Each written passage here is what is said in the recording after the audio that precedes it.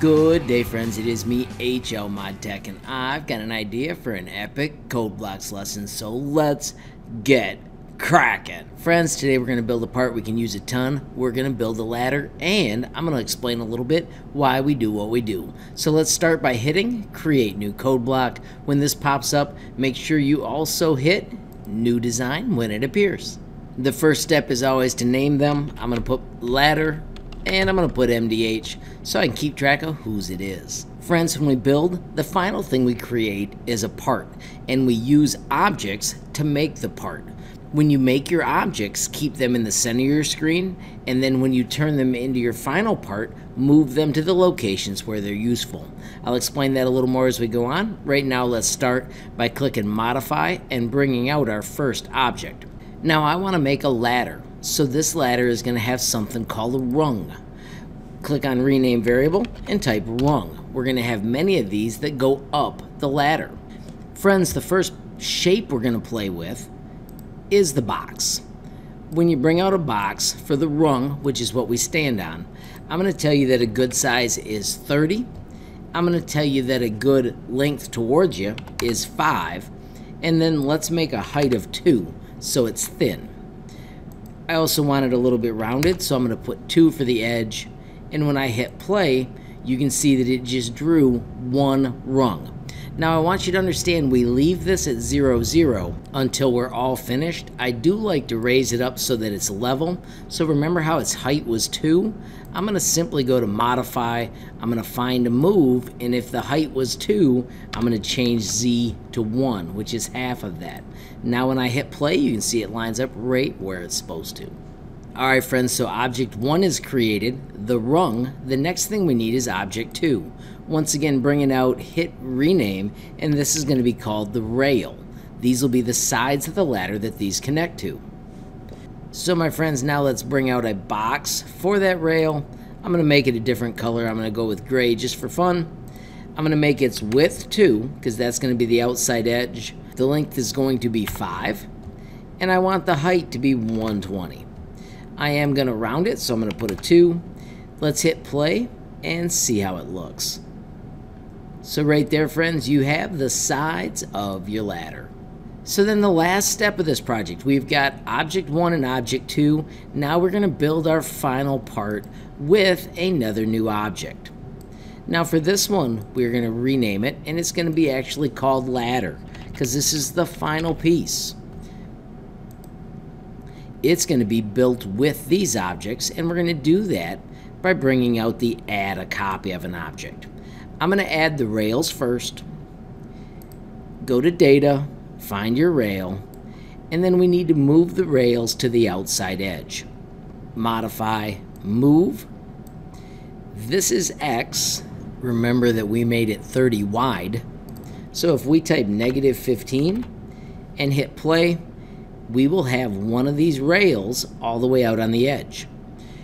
Remember this part was 120 high, so let's change Z to 60 and hit play. This is also nice because it shows you our original part is going to be deleted later so we can ignore it. Don't let it bug you. We're going to duplicate these two pieces and if one is at negative 15, friends, the other is at 15. This is how when you start to understand the math, it makes it easier for you to build. Let's add our rungs with an amazing count with, and let's start with 10 rungs. Once again, we're going to add a copy of the rung, go to your data, find the rung, and then every time it adds a rung, we want it to move.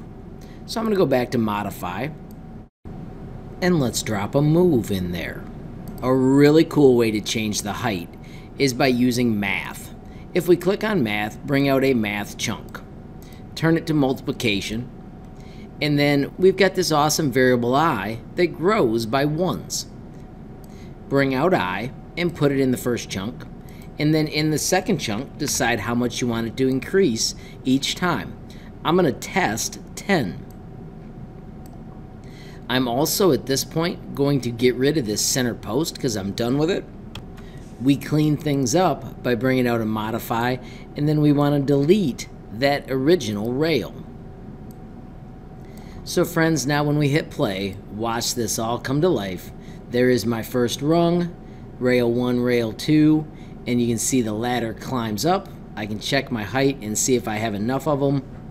And then when it's done, it will actually delete that little part. So I do not have enough. My rail is gone, so that's pretty cool. I'm going to fix this by quickly speeding it up, changing this to 11, and then I want the bottom rung gone. So once again, I can duplicate this delete object, throw out the word rail, and replace it with the word rung. Let's see how that looks. That's a pretty sweet ladder. I think it's too wide though, so watch this. Because we're working with code, I can change it to 20. Now when I hit play, you'll see that they don't connect. All I need to do is change my math. Where before this was 15, now because I'm using 20, half of 20 is 10, and half of 20 is 10. If I hit play now, I think that is a fantastic ladder. Alrighty friends, so please store all that away. You build with objects that finally make a part, leave them in the center, and then arrange them when you make the real part, and then down at the bottom, get rid of those originals so it looks clean and awesome.